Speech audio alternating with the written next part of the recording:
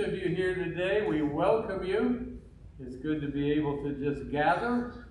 I have a special note here that I would like to read, and this is from Marion. Thank you all for all the love and kindness you have shown to Farrell and me over the years, especially all the prayers. Thank you for your donation uh, for Gideon Bibles. Thank you for all the food that was brought to the house after the funeral.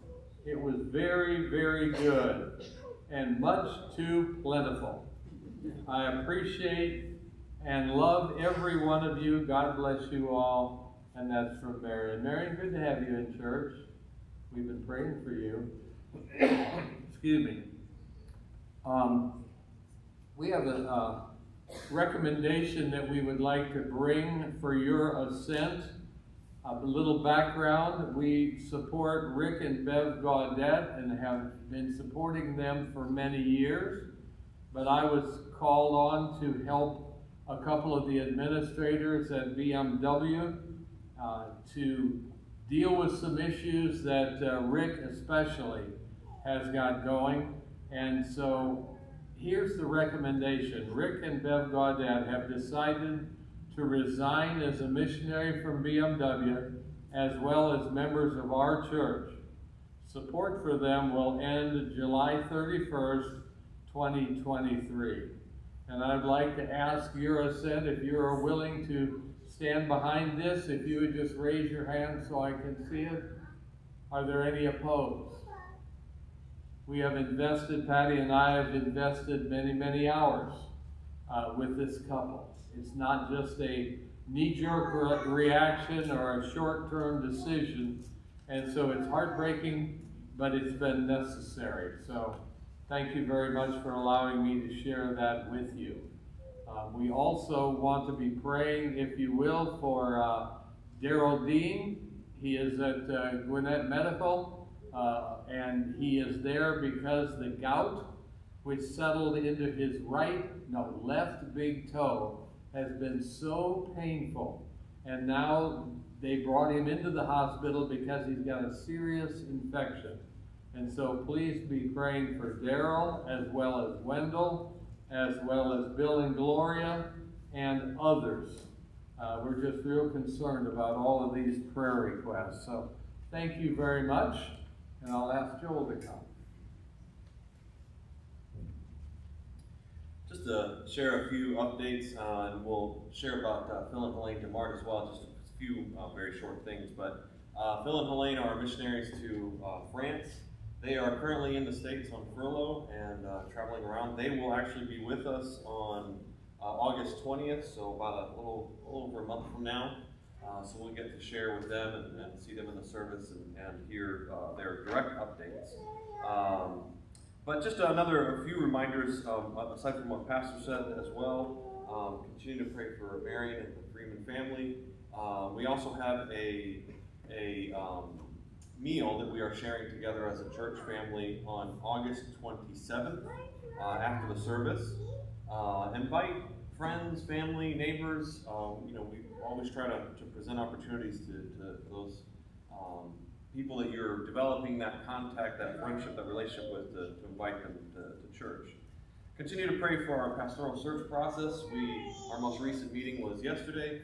Uh, we met, usually meet for about an hour and a half or so, and we will be meeting again very soon, actually in, in person for an extended meeting as we uh, just look through um, candidates and different opportunities for us to, to look at, at uh, uh, folks that are looking for uh, to minister. Um, we it's, it's a slow process, and um, it, but as progress is being made. So pray for us as for patience to be directed in the right direction as well. Um, just pray for the pastoral search process. And uh, continue to pray for the children's church ministries. Um, right now, during the summer, uh, Emily and, and Miss Sammy are really leading it every Sunday, but as the, the, the school year starts, uh, there will be opportunities for, you know, really volunteers to, to take on. And um, if you think about it, if you've got only got two or three people involved, then somebody's really stuck there all year. But if you have three, you know, three, four, even five people, if you have a rotation, then it allows for people to be in the service and to take part in, in that ministry. We don't, we just don't want people to miss out on on um, the, the teaching and the, the fellowship that is here. Uh, even though obviously church uh, ministry, ministry for the children is, is extremely important. But we're just look, we'll be looking for volunteers come the, the start of the school year. Let me take these to the Lord in prayer and, and we'll open our service that way. Father, we are so grateful for Phil and Helene and Lord their service in, in uh, the, uh, the mission field in France. We pray as they travel around here in the states that they would feel refreshed, that their travels would be uh, would go safely, and uh, Lord, as they uh, prepare to, to return uh, towards I think towards the end of the year, Lord, that you would continue to provide for all of their needs. Lord, we look forward to seeing them soon um, and to just hearing their their in-person update of as, as to the ministry. Lord, we do pray for Rick and Bev as they uh, this transition and this new point in their life. Lord, we uh, commend them to your hands, to, Lord, that, they would continue to seek your face, Lord, as they uh, live in, in, Austria. And uh, Lord, we just pray for for growth and blessing in their lives, Father. Lord, we pray for the ministries of our church, for the children's church ministries, for our ministries of fellowship that we have. And, uh, Lord, we pray that we would uh, continue to see these grow. Lord, lay it on, on our uh, folks' hearts where they can serve and where they can help and be of a, an encouragement to others. Lord, we pray for those who, well, for, for the Freeman family, Lord, and, and their recent loss. Lord, we pray for their encouragement. And, uh, Lord, for we, we are so thankful for your faithfulness, Lord, even when when things are not good, when things don't feel well, when, and when grief is upon us, Lord, we thank you for your faithfulness and love towards us. Father, thank you for our many blessings as well, those things that we just don't even think about, think of, of thanking you for. Uh, those things that pass by us each day and we take for granted, Lord, you, you have a hand in all that happens in our lives. And we are so grateful for your faithfulness. Help us now, Father, as we sing, as we pray, as we hear your word preached, Lord, that it would be to your honor and glory and that it would challenge our, our hearts. In Jesus' name, amen. Amen. Good morning. Morning. Good morning. Try that one more time. Good morning. There we go. Good morning. It helps if I turn it on. Thank you, gentlemen in the back, for smiling at me, knowing that I hadn't done, done that. um, in case you are wondering, the DeMart, DeMarts, what do they look like again? We have a picture. Oops. That's okay our superior clicker um, did not know. Uh, it was my fault. I did not communicate. My mother-in-law never does anything wrong. I just want that said on camera so that it's recorded. Just, okay, we're good there. So yes, please do pray for uh, Phil and Helene and their family as they're traveling. Uh, if you're not connected with them on social media and you are on social media, I request that because they send up some pretty good updates, just little ones throughout the week and so forth, and it's nice to see how they're doing. So do pray for them. Thank you, Mom. Um, I have another announcement that I want to share. This is a very adorable announcement, very exciting announcement. I'd like to let my church family know that my daughter, Sarah, will be blessing our family with a new little baby boy in January of next year. Hey.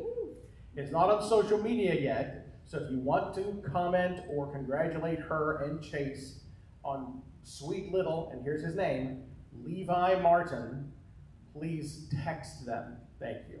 So if you, if you do see them on social media, they're not wanting anything out there right now, but if you want to phone call, text, beat a drum, send a smoke signal, carrier pigeon works too, to let them know that you'll be praying for them. We definitely as a family are super excited about little Levi. So please be praying for Amen. Chase and Sarah Valentour as they go through the pregnancy. Are you glad that you're here this morning? Yes. Are you really though? And I'm not questioning. I'm not questioning the the affirmative response you just gave me. But consider how amazing it is to be able to join together with your brothers and sisters in Christ and to praise God together. I hope that you praise Him throughout the week. But it is a privilege to be able to, without really any worry whatsoever of anybody saying that you can't, that we get to come together and to praise his name. It is our God worthy of our praise this morning? Amen. He is. Um, in our Bible reading, um, we, we just read Psalm 150 last night. and I'm going to read it for you this morning. Praise the Lord. Praise God in his sanctuary. Praise him in his mighty heavens. Praise him for his acts of power. Praise him for his surpassing greatness. Praise him with the sounding of the trumpet. Praise him with the harp and lyre. Praise him with timbrel and dancing. Praise him with the strings and pipe. Praise him with the clash of cymbals. Praise him with resounding cymbals. Let everything that has breath praise the Lord. Praise the Lord. Amen. Now, I personally would love to see timbrel and dancing. Um, I wish we had a box of instruments so I could pass out the trumpet, the harp, the lyre, the strings, the pipe. I think that would be great. We don't have that this morning. What we do have are two stringed instruments and two, well, they're all stringed instruments except for the electronic one. But we have these instruments, and better yet, as the last verse, verse 6 says, let everything that has breath praise the Lord. Everybody take a breath for me and let it out. You can praise the Lord. You're breathing. Let's use that breath to give him praise this morning. Would you please stand as we sing together?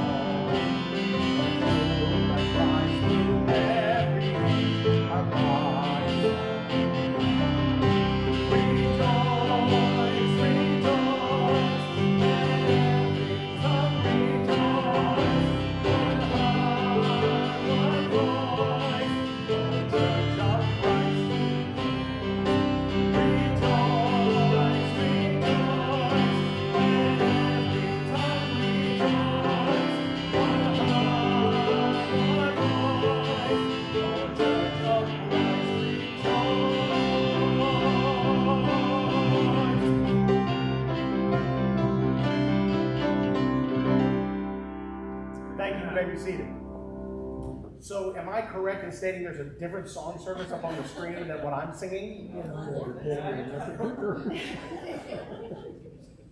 so we're going to go ahead um, and I'm going to play during the offering while our technical advisor uh, takes a look at what's going on. Um, but that's okay. So, um, just a second.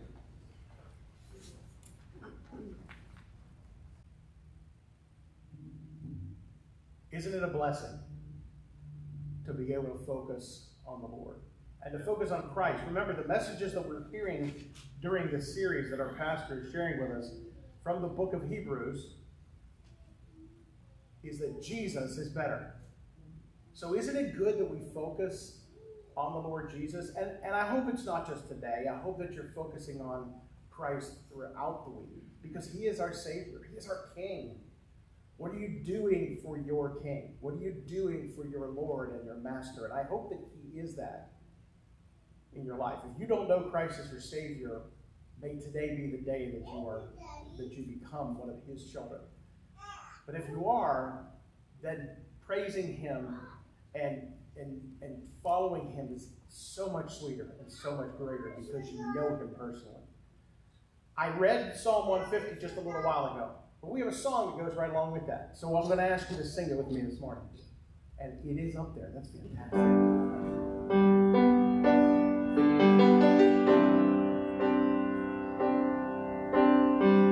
Our God is worthy of our praise this morning. Let's lift our voices together. You made the starry hosts, you traced the mountain peaks,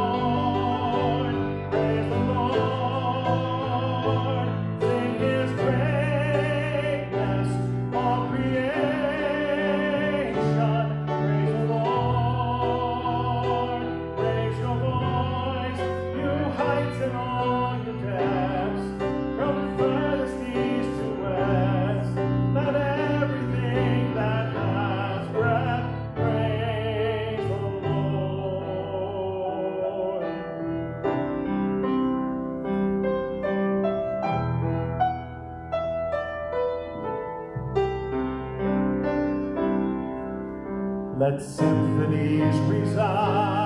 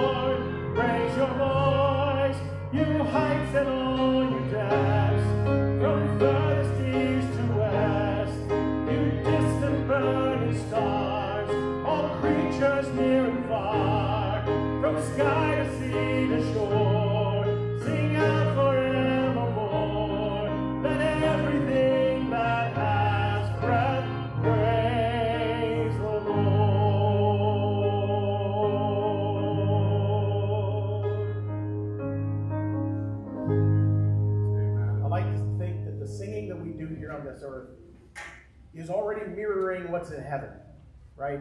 We pray that things would be done on earth as they are in heaven, because in heaven God is glorified and honored, and, and, and there's singing all the time, and we get to do that on Sunday.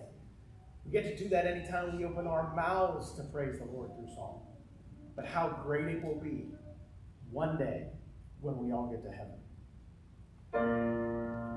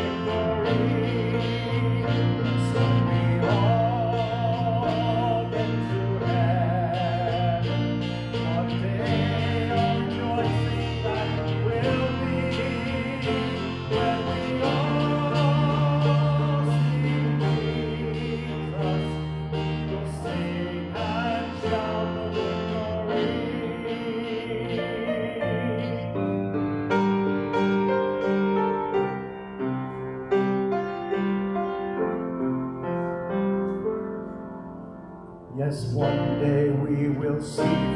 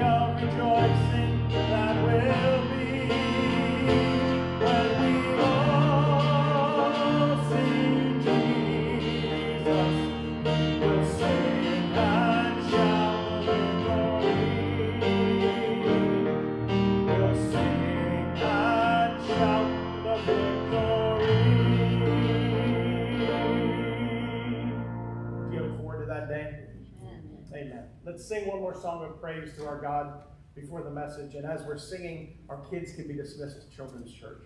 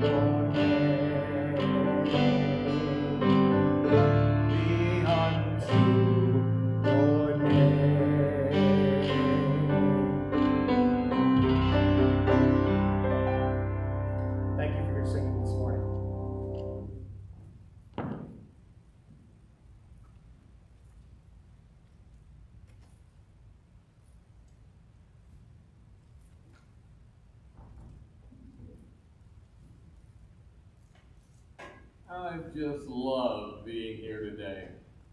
What a blessing it is. And now we're going to open the Word of God. I'd like to speak this morning on the subject, lest we slip away. We're going to be looking in the book of Hebrews. So if you would take your Bible and turn to Hebrews chapter 2.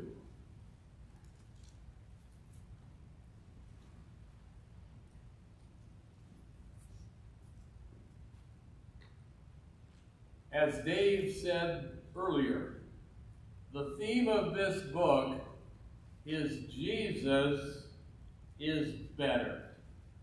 Better than anything we might come up with better than the religions that have been developed, better than the experiences that go on in some churches. Jesus is better. As the writer of Hebrews continues, the writer is concerned about the initial recipients, which were Jewish people living in the Palestine Jew Jewish area. His concern was that the hearers of the gospel, who had not yet trusted Christ, not drift back into their old religion and into their own ways. He deals with this problem, the superiority of Christ, in two ways. First of all, by emphasizing the superiority of Christ and the new covenant established by Jesus after his sacrifice on the cross. Also, secondly, he deals with this as he presents a series of five exhortations and we won't cover all five this morning. But in chapter 1, remembering Jesus is better, we see that Jesus was presented as more superior than the Old Testament prophets. Secondly, he presented the superiority of Christ over the angels in chapter 1. Now, as we turn the corner into chapter 2, we see the first of those five exhortations. In these exhortations, we find a warning about the danger of drifting. We said in our title, lest we slip away. And the figure, obviously, that's suggested is a boat or a canoe.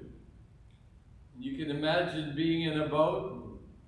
You're enjoying a day out there on the water, and then the boat, because of the current you can't see, begins to pull the boat away and you begin to drift.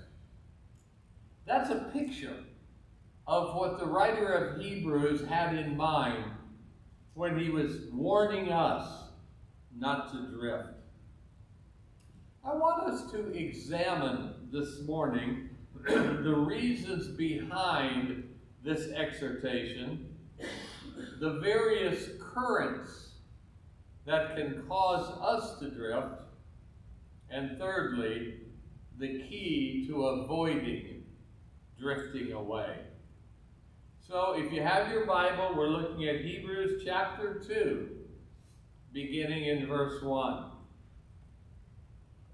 Therefore, we must give the more earnest heed to the things we have heard, lest we drift away. For if the word spoken through angels proves steadfast, and every trans, sorry, transgression and disobedience received a just reward, how shall we escape if we neglect so great a salvation? Allow me to back up to verse 2. The words spoken through angels during the time of Moses warned the people about the behavior that they must have and the sin that they must avoid. And if they didn't obey, they would not go into the promised land. They received a just reward. With that, how shall we escape if we neglect so great a salvation? Which at first began to be spoken of by the Lord while he was on earth and was confirmed by those who heard him. The eyewitness writers about the Lord Jesus Christ. God also bearing witness, both through signs and wonders, with various miracles and gifts of the Holy Spirit, according to his own will. God sent his Son, chapter 1 tells us, to present the right way to heaven. I found this quote, excuse me, and it's sobering. Hell is undoubtedly full of people who were never actively opposed to Jesus Christ, but who simply neglected the gospel. Such people are in view in the four verses that we have read before you. These people know the truth and even believe the truth in the sense that they acknowledge its truthfulness or its rightness. They are well aware of the good news of salvation, which is provided by the Lord Jesus Christ, but are not willing to commit their lives to Him. So they drift past the call of God into eternal damnation. This tragedy makes these verses extremely important. The warning must therefore be directed to non-Christians. In, in our context, I am so sorry, something's chasing me. And I think I've been caught. The warning must therefore be directed to non-Christians, specifically the Jews that he's writing to, who are intellectually convinced of the gospel, but who fail to receive it themselves. Over our years in ministry, I don't know how many people have said to us, as we shared our personal testimony, talked about how we got saved or shared the gospel, and they say, Well, I, I don't understand it all, or I'm just not ready, or I want to wait a little bit. Hell is full of people like that. So, this is a warning to the intellectually convinced. And the reasons for this exhortation, I see number one here, is the real danger of drifting. Therefore, we must give the more earnest heed to the things we have heard, lest we, we drift away. Pay attention, is what Wendy says to her class. Have you ever said that, Wendy? No, never. Not more than a thousand times today. Now, I want you to pay attention. I want you to listen. I used to say that to our kids. But it didn't work. I'm thinking of Amy. She's in here. We must give earnest attention to the things we have heard, lest we drift away. And it's possible for people to drift past the gospel and neglect so great a salvation, as chapter 2, verse 3 says. How shall we escape if we neglect so great a salvation, which at the first began to be spoken of by the Lord, and it was confirmed by those who heard him? And for those unsaved hearers of the gospel, the danger is very, very real. Remember, this is directed to those that have never trusted Christ as Savior. Maybe they've been in church. Maybe they've heard some of this. Maybe their family is Christian. They're intellectually convinced They've heard the truth, but then they casually pass by. As the writer of Hebrews says, all those who have heard the gospel should accept it, turn from their sin, and trust Christ's finished work. And remember, you don't have to be totally evil to go to hell. You just have to drift past the gospel and not trust Christ as your Savior. Number two, the dignity of the one through whom God has spoken is the key factor in these four verses. In chapter 1, verse 1 and 2, we have already learned that God speaks to us through his Son, through Jesus Christ. And we have seen that this Son is, number one, superior to the prophets. We've already learned that. Number two, superior to angels. God has spoken to the world, for God so loved the world that he gave. He has spoken to us in this room and to those that are under the sound of the gospel. He spoke through his son. And we see in the scriptures that his son is appointed heir of all things. God the Father gave Jesus Christ the right to be heir of all things.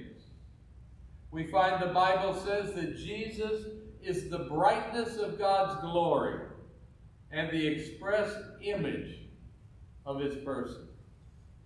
Jesus, for the believer, is our sustainer, our redeemer. He's the one that we have trusted. He is the firstborn. And by that, not that he was born first, but he was born in rank, first above all. And he deserves our worship. He is the one that our, the Father has enthroned and anointed. He is the Lord Yahweh, who is the eternal creator. He is sovereign. He is reigning at God's right hand. And when God spoke through angels back in Moses' day, he said that the word spoken through angels proved steadfast, true, undeniable. And the rebellious Jews suffered and lost the ability to go into the promised land. Jesus' word is steadfast.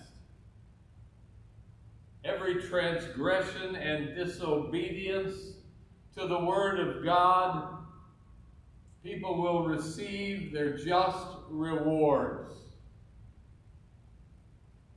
God spoke through Jesus. He spoke through his son.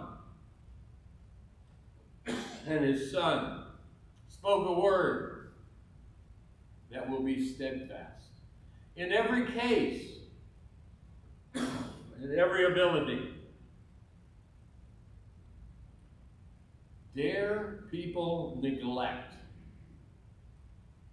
the Word of God? Dare they drift past with all their excuses, with all of their problems, when it is God who spoke through His Son, Jesus Christ? And the confirmation of this was given in the passages that we now have. How shall we escape if we neglect so great a salvation, which at the first began to be spoken by the Lord and was confirmed to us by those that heard him? When I open my Bible in the New Testament and I read all the different letters or epistles written by Paul or James or whoever, they were eyewitnesses of the Lord Jesus Christ. They heard him, they walked with him, they knew him. In 2 Peter, I will read chapter 1, verse 16. For we did not follow cunningly devised fables. Boy, that's going on today in America. It's going on around the world with religion. These cunningly devised fables that have been presented to people, and people like sheep and the pastor have followed some of this, and they've bought it, and they drift past the very Son of God. These divine are these cunningly devised fables when we made known to you the power, the Apostle Peter says, and the coming of our Lord Jesus Christ, we were eyewitnesses of his majesty. There are many people over the years that have endured much for the cause of the gospel. Some have even died and what's happening in China and North Korea that we read is going on in these house churches and people just fearful for their lives. They did not drift past. They trusted Christ as their Savior. In verse 4 we read, God also bearing witness, both with signs and wonders with various miracles and gifts of the Holy Spirit according to his will. And the signs and the wonders that were performed by Jesus Christ, and then later, as he was permitted, the Apostle Paul performed some signs, and we see that the confirmation is true. In John chapter 10, Verse 37 says, If I do not, if I do not do the works of my Father, don't believe me. But if I do, though you do not believe me, be believe the works that you may know and believe that the Father has sent me, I, Jesus, am He. And Christ is confirming the truth of that. Shall we neglect the Word of God which was borne out and drift away? If we drift away, we first of all will lose so great a salvation, chapter 2, verse 3 of our passage. It is just marvelous to have trusted Christ. It's a great salvation because it offers such things as the forgiveness of sin. No matter how many times I stumble or blow it, I ask forgiveness from the Lord in my day, and I know that eternal, my eternal life is secure because I've received forgiveness of sin. Also, salvation offers transformation of character by providing power over sin as we trust the Lord, put off, put off sin, put on righteousness, and obey Him. It provides assurance of God's fatherly presence. No matter where I go, the Lord is there. It provides a clear and peaceful conscience within the believer when you know things are right with the Lord. And you've dealt with the past baggage. You've unpacked your Samsonite. You've laid it before the Lord. And now you can trust Him. It provides a glorious hope of eternity. And I know beyond the shadow of a doubt that when my eyes close in death, I'll see the Lord Jesus. It'll not be a doubt in my mind. Dare we lose all of this through neglect and through drifting? Following the metaphor of drifting, what currents in that imagination water might cause one to drift? Well, the first one I thought of is the current of time. It's a time when, as time passes by, the need for the gospel, the urgency for the gospel, the pulling in your heart that the Holy Spirit is doing, if you don't trust Christ, time will go by and you will begin to drift. And you will lose the fervor and devotion as we see in Revelation chapter 2, verse 4, with the Ephesian church. Sometimes we grow weary with well doing, as Paul wrote in the book of Galatians, chapter 6. Or, in time, we may begin to rest on past accomplishments. The old saying, rest on your laurels. That sounds uncomfortable to me and it doesn't get anybody to heaven, we cease pressing forward because we've drifted. There's the current of familiarity. As we become familiar with this truth, it may seem commonplace to us. Well, first of all, when we first walked into a, a Bible teaching church, I was so nervous and uptight, I couldn't hardly handle it. We followed our friends down the aisle and sat in a certain place, and I was about ready to scream. I wanted out. I've never seen anything like this before. There were happy people in that place. There were people that sang heartily, and they liked singing. See, if I had just seen that and got excited, and then let myself drift, the novelty of the day would have been gone. Some people drift in time. Another current I think of, not only familiarity or of time, but the current of society. The tides of our modern life and our modern world the tides begin to seduce us. And those without Christ have nothing to stand on or to hang on to. Modern opinion. It is bombarding true believers. secular humanism, false religions, plastic Christianity that's tailor made and designed to pack them in. This is offered as truth in many places, and it's hard to maintain the course. And those people that are drifting are being caught away by such things. I think also of the current of the flesh, the humanness of people. There's not a war, there's not only a warfare without, but there's also a warfare within. And Satan does not want you to get saved. He does not want you to trust Christ. He wants you to keep on drifting. Keep on, keep on, and he'll provide the pattern drifting. Be careful.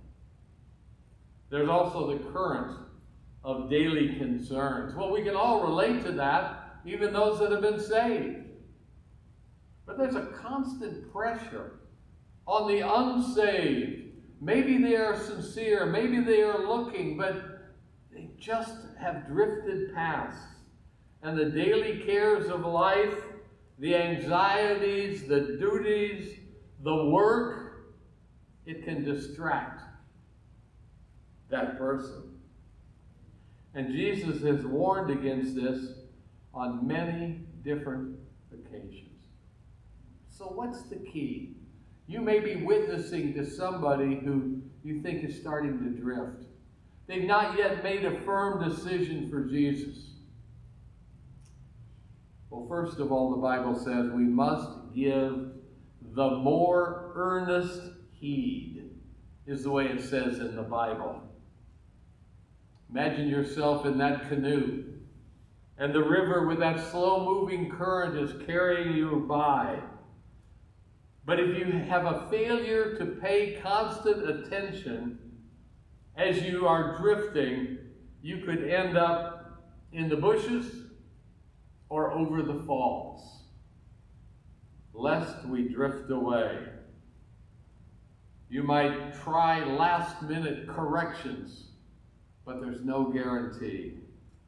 Only by giving earnest heed to the Word of God for the unbeliever, that's the way it is with salvation, to be diligent at the task at hand.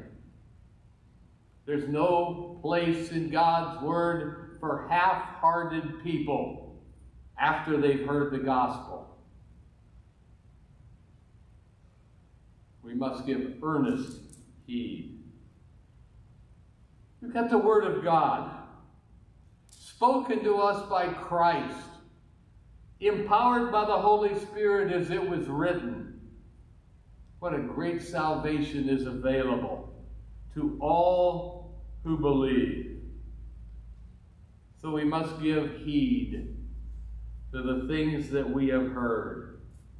And sometimes people will give lip service, but if they don't follow through, they've never really trusted Christ. As the Berean church did in the New Testament epistles, they received the word with readiness and they searched the scriptures daily. And they didn't allow their lives to drift. Are you hearing you've never trusted Christ yet? You can be a member here since dirt was created, and it won't get you to heaven. You can look like dirt and not get to heaven. You can clean up and look, oh, so much like a Baptist and not get to heaven. What's involved is what you do with the Scripture. How sad to drift past so great a salvation. Let's bow in prayer.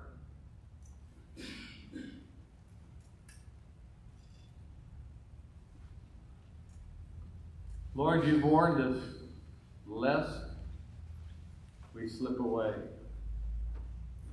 And I pray today if there's any that have never trusted Christ as Savior, even though you've been sincere and you thought you were right, as we're singing the closing hymn, one of our elders will be down front to meet you and can answer any questions you might have concerning your need for salvation. Maybe you need somebody to pray with. We want to be available for everybody that's in here. So, God, we commit this to you, and we want to please you in every way. In Jesus' name, amen.